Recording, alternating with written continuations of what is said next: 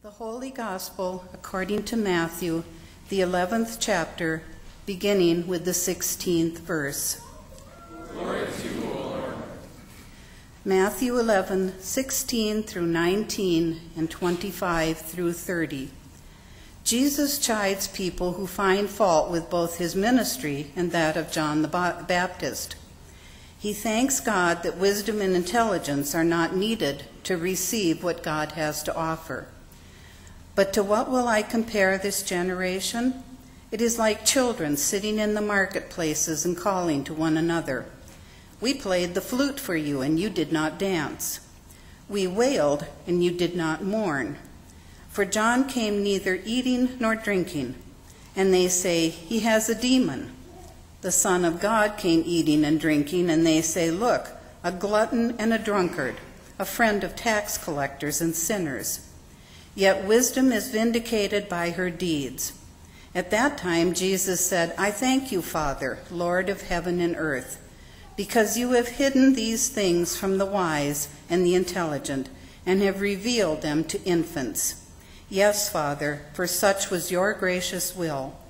All things have been handed over to me by my Father, and no one knows the Son except the Father and no one knows the Father except the Son, and anyone to whom the Son chooses to reveal him. Come to me, all you that are weary and are carrying heavy burdens, and I will give you rest. Take my yoke upon you and learn from me, for I am gentle and humble in heart, and you will find rest for your souls. For my yoke is easy and my burden is light. This is the gospel of the Lord. Praise to you, O Christ. Let us pray. Lord, we are weary. We carry heavy burdens. Let us now hear and feel your invitation to lift our burdens and give us peace. In your name we pray. Amen. I have recently joined the Y, my family did, just this last week. And so I've been lifting weights this last week. And it has truly been a humbling experience. Because I realized I'm not the man I used to be. According to the weight stacks and the dumbbells, I'm about half the man I used to be.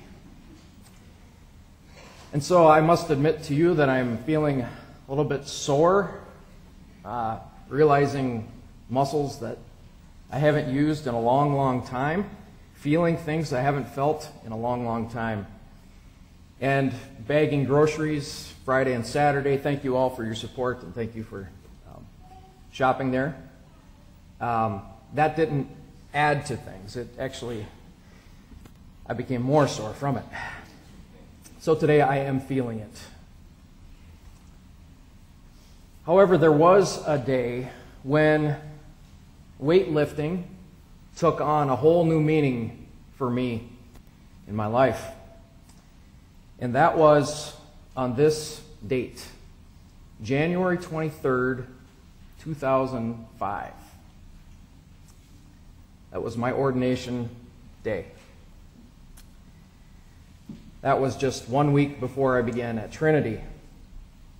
The bishop placed upon my shoulders that red stole that I showed to you in the children's sermon. And when he first put that on my shoulders, it felt very heavy. This yoke represents the ministry, the burdens, the pains, the unheard prayers spoken unspoken, of this community that I was called to, this place called Trinity Lutheran Church that I was just beginning to know at that time.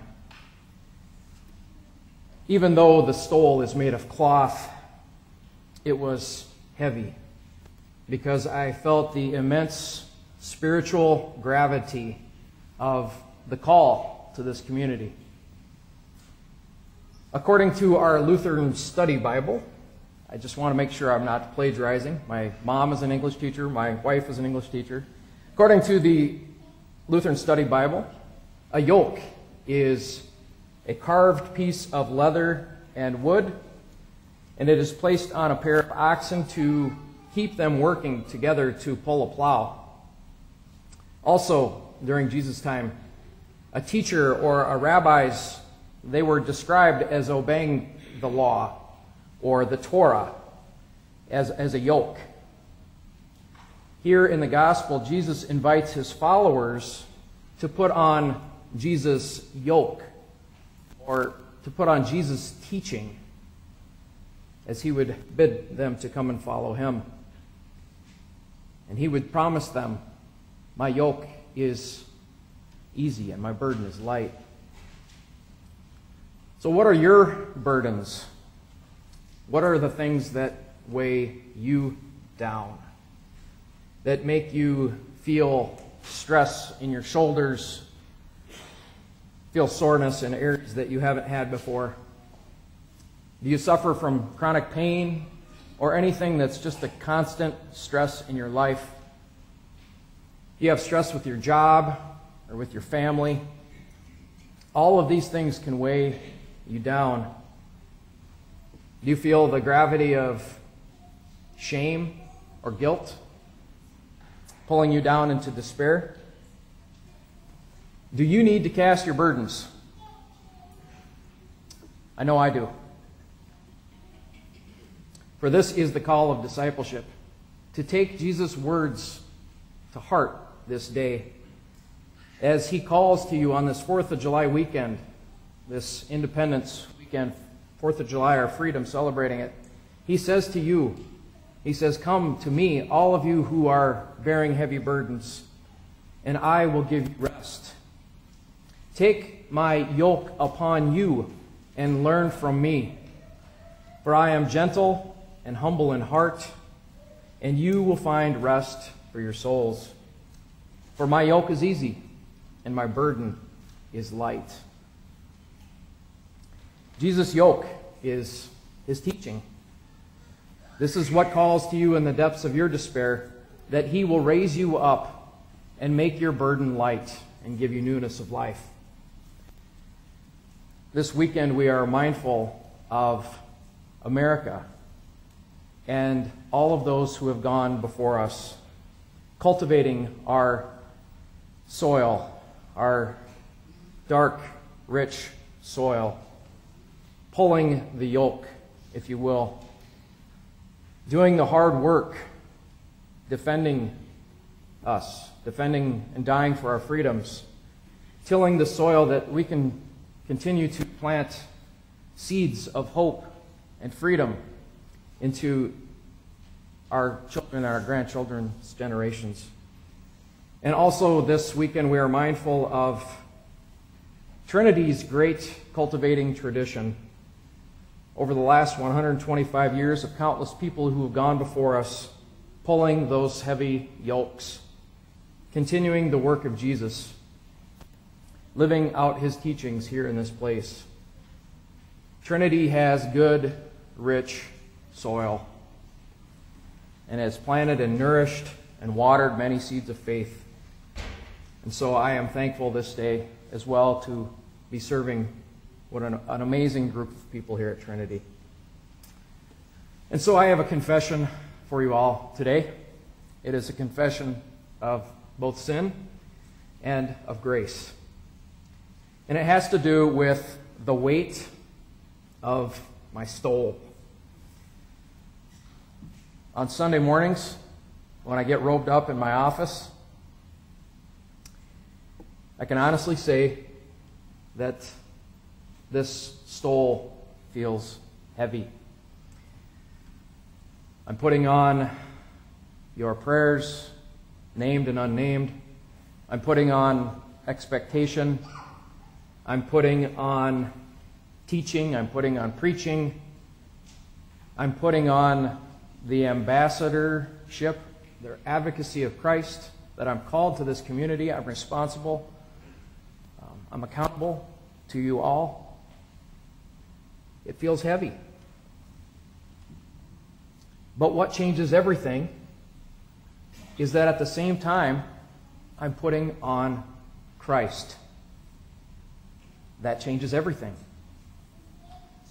And through the service, Jesus Christ lightens our burdens.